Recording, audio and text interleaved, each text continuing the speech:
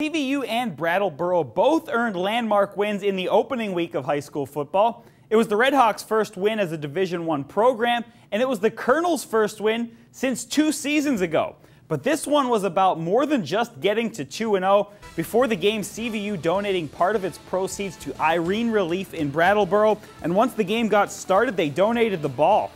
Matthew Bauer has it knocked out of his hands. The Colonels recover, they take advantage.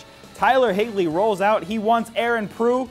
He's got Aaron Prue in the end zone touchdown. They missed the extra point, but Brattleboro up 6 0 after one quarter. Second quarter, here come the Redhawks. Nick Ferrantino takes the handoff right up the gut, gets to the goal line, tied at 6 after another missed PAT. Later in the quarter, CVU plays takeaway. Watch Drew Nick step right in front of the pass. He picks it off, puts his team in great field position, and finally, Ferrantino will do it again. First, he gets to the corner.